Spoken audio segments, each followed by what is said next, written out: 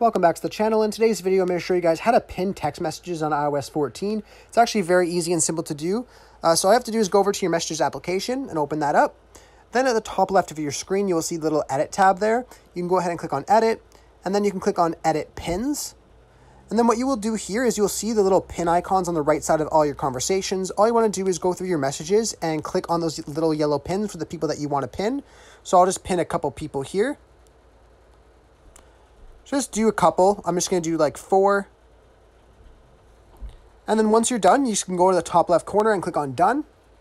And then this will save those pins there for you. So whenever they send you a text message, a little speech bubble will pop up on top of their little circle right there, which is actually kind of cool. You don't have to fully open the message to see what, what the message is about, which is really nice.